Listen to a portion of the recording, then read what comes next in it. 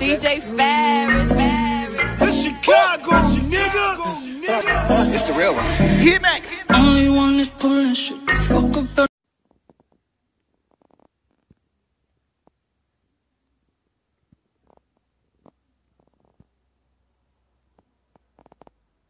Let's get a sports talk. News outside the NBA, Super Bowl MVP quarterback Patrick Mahomes has signed the largest potential value contract in pro sports history with the Chiefs, a 10-year extension that our Adam Schefter reports could be worth over a half a billion dollars. That got us thinking. Perk, if there was one player in all of today's NBA that you would give a 10-year contract to, and you could only choose one guy, who would he be?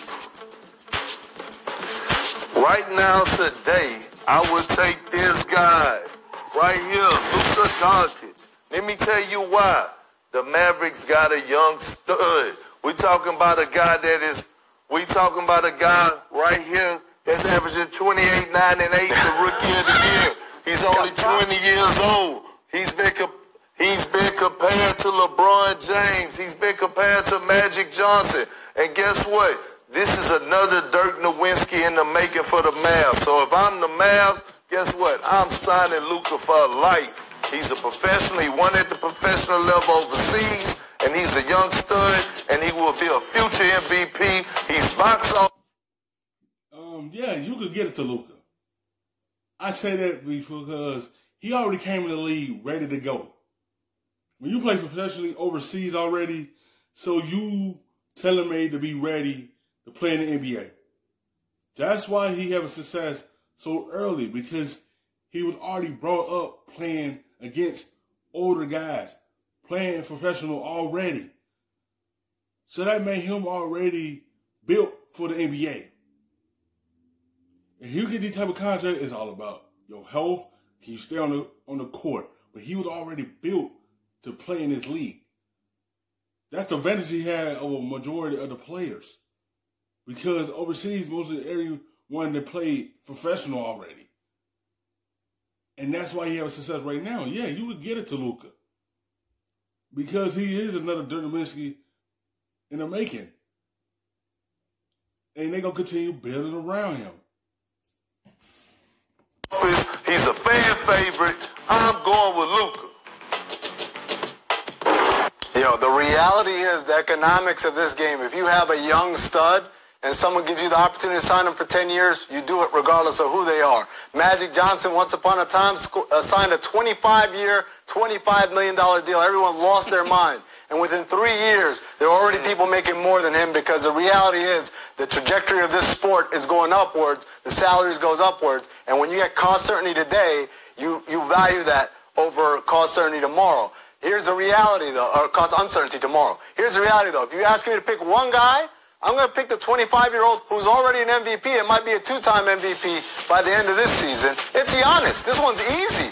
I mean, everything that you talk about, Luka or Ja Morant or Zion or any of these other young guys, that's great. But I already know this guy's a real deal, and he hasn't even hit his prime yet.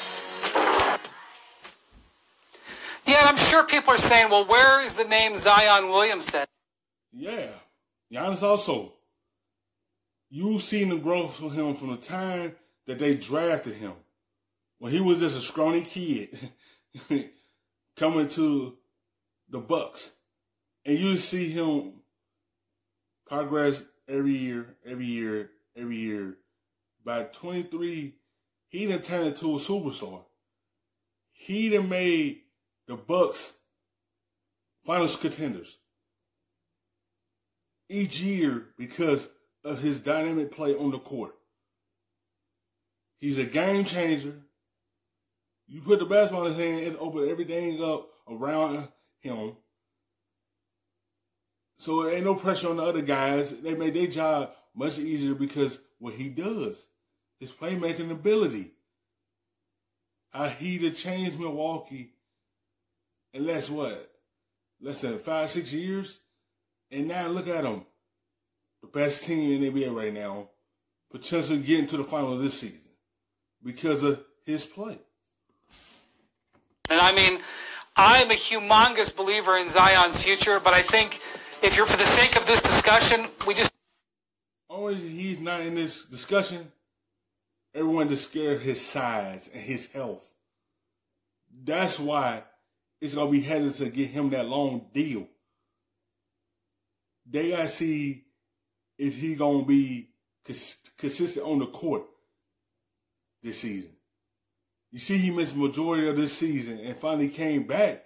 Yeah, he had impact for uh, the Pelicans, but they want to see how he's gonna be before they even get him no type big deals. They want to see is he gonna be healthy the upcoming years for him before they even think about getting him a type mega deal because they gotta make sure that he's not gonna get hurt at that time. But that's all. That's why he's not mentioned because everyone is gonna be scared to get him that type of contract. They don't know how he's gonna be, how his, his body gonna be. That's the only reason he's not in this conversation because his his health and everyone want to see first. Don't know his health. He's already had a number of knee injuries. So I agree, Amin. I think Giannis is probably a safe bet. Also, Luka, you're not 100% sure on his conditioning, but hey, there's nothing guaranteed uh, in life in the next 10 years. If anything, uh, the world has taught us in the last few months. Um, moving on to the Knicks. Uh, former NBA agent Leon Rose enters his first offseason as the Knicks president. Marc Berman of the New York Post suggested that his one of his former clients, Suns All-Star Devin Booker, has an intriguing possibility to eventually join the team. Uh, Rose has an extensive Rolodex of former All-Star clients, uh, guys like Joel Embiid, uh, Chris Paul, Karl-Anthony Towns, Victor Oladipo, and even once represented LeBron before Rich Paul became his agent. I mean, while Booker is uh, specifically um, difficult, he'd be difficult to get. And I feel like, yeah, he already in a bad situation with Phoenix. They go to New York. They have a solid team there. I feel like they do need an all star in that lineup to potentially help the Knicks potentially fight for a playoff spot. If they can land that book, I want to see how that's going to work out because you do have Barrett, you do have Randle. So I just want to see how he, that's going to play out with them, with him in the lineup. Have an all star mixture into that starting five. I feel like that'd be a solid team if New York can land him. Because New York been trying to land these type of all stars for the upcoming years for a long time, and they haven't got anyone to to come there. If they could get a chance to get Booker there and have an all star on their team, it might potentially change the Knicks. because if he's under contract for four more years. Are you intrigued by the idea of Rose recruiting for some of his former clients, including Booker, to the Knicks? I feel like we do this every year with the Knicks. Somehow, somebody employed at the Knicks is the godfather's cousin's baby mama's sister brother of the person who plays for another team. And boy, we'd love to have him. Think about this. I'm not saying that Devin Booker is absolutely happy in Phoenix. Obviously, things haven't gone the way he'd like it to. But if he were to choose one location to go outside of Phoenix to leave, you tell me he's going to pick a team that's even worse? That he has even worse track record? Why? Because his agent is running it? Why? He's rushing to go play with Frank Ntilikina and Kevin Knox? Come on, man. The, the only answer here, if he were to leave, and I'm not sure he's at that level yet, but if he were to leave, it's Minnesota. It's where his best friends are. Yeah. He'd probably choose Minnesota over the Knicks because his two best friends there, and Towns and and Russell. That's what he'd like to go play beside them and create a team there. That'd be a young big three up in Minnesota.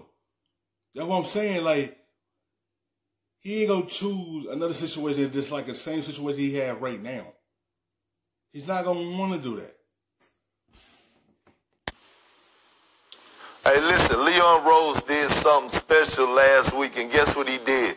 Hired a guy by the name of Worldwide Wes. They call him Worldwide Wes for a reason. He has relationships with everyone. And I'm talking about everyone. If you want to talk about Jay-Z and Drake, this guy is powerful and he knows how to interact with people. I'm pretty sure that that's why they put him in place so that he could go out there. We know Worldwide Wes is a is a mastermind when it comes to working his mouthpiece and and and, and uh, swaying guys to come in his direction. That's why he was under Leon Rose in the agency. So I'm not knocking it. I think that with having Worldwide Wes, that the Knicks could land Devin Booker.